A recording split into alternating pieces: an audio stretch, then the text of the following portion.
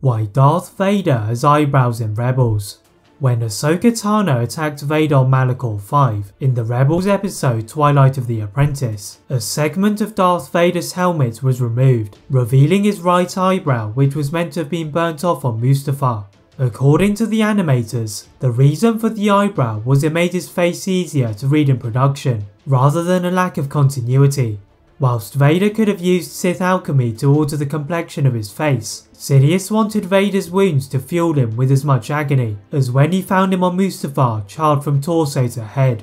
Sidious would lift the body of Vader away from the lava river, and as he waited for the medical capsule to arrive, he laid his hand on where Vader's eyebrow had been and willed him to live. Be sure to subscribe for more content.